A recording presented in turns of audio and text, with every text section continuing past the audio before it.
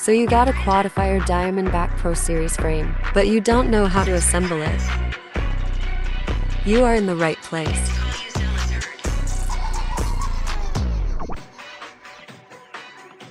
First take the bottom plate and shove a 16mm screw with countersunk washer through it, then put the arm on the screw, then the middle plate, and finally, finger tighten a standoff on the screw.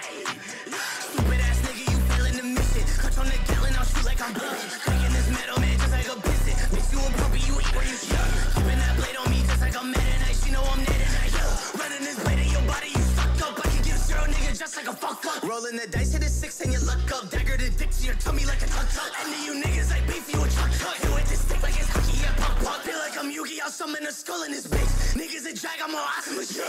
Pulling the triggers, he smell like yeah. Bitch, I'm the leader, no roaches, yeah. Bitches gon' do what It should look like this. I'ma go cut like a bug. Smoking this gas in my eyes, turn it red like a dragon. I'm getting high like a lag. Running this Repeat for the remaining arms.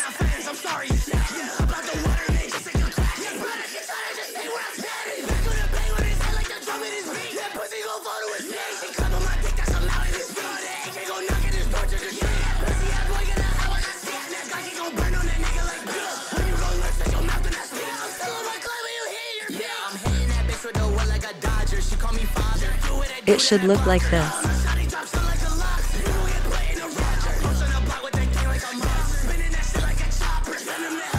Now take a 30mm screw and shove a countersunk washer on it. Then put it through one of the 20 by 20 or 30 by 30 holes, depending on the stack size you are using.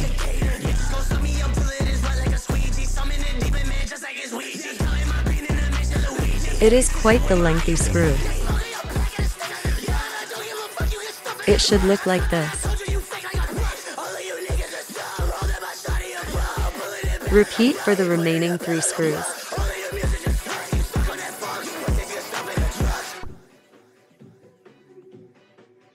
What are you doing, Prompto?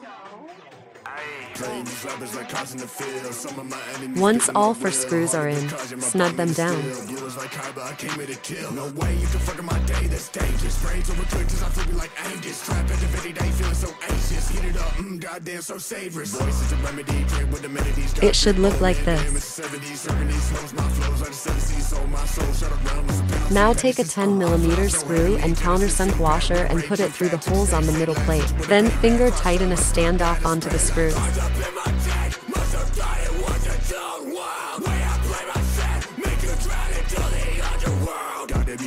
Came here to stay. Try to control me and take me away. No kidding, I tremble at thoughts of mistakes. But me and this they're changing the ways. Some gates that I can't break. It should look like this. Fake myself, hate, can't relate. These chains that I maintain, bound my place. Fuck fate, I'ma penetrate and sedate my future with a flow. Put the remaining to standoffs in the axi mount, then screw them in like the previous standoffs. Fuck is all the life that I did.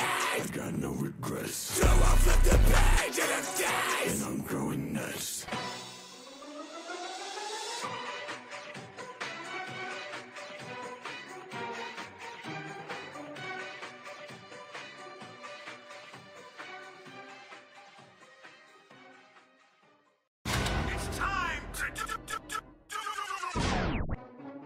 It should look like this.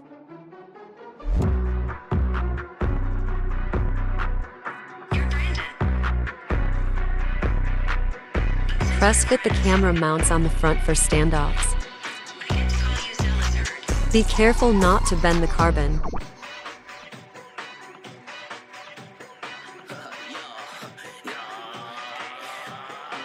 Repeat for the other side.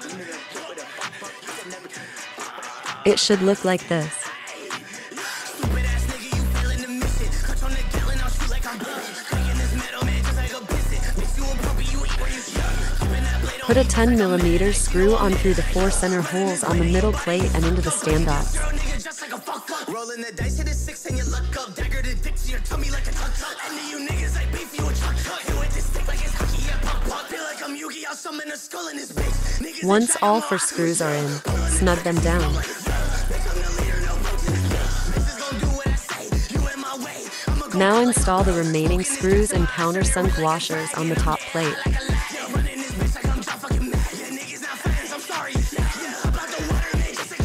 Now snug down all the screws on the frame.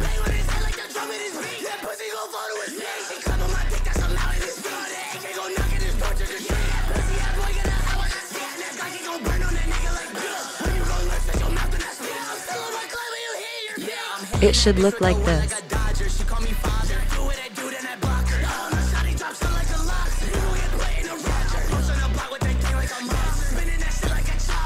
If you choose to run the arm guards, simply press them onto the arm ends.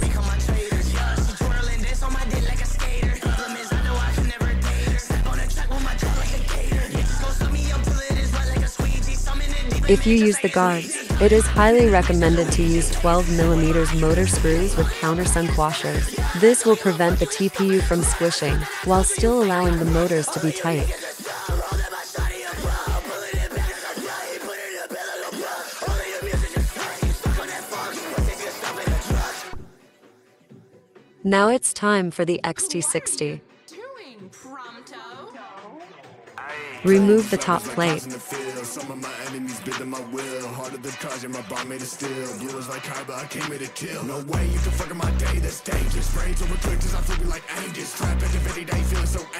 anxious. Heat it up, mmm, goddamn, so savory. A remedy, with. God drink, oh man, damn, it's the 70s. 70s, flows, my flows like the 70s. So my soul shut around. To install the XT60, simply screw it in with the M2.5 screws.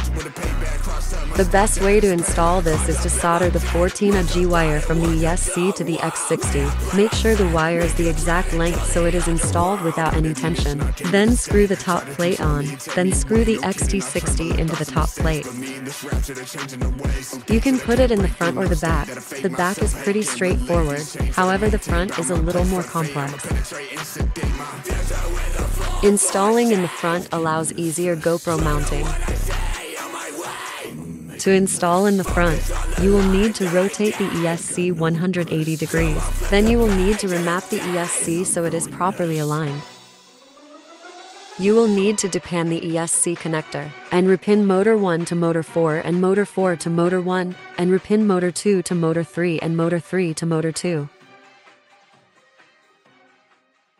This will make the quad function properly. You must remap the motors for mounting the XT60 in the front.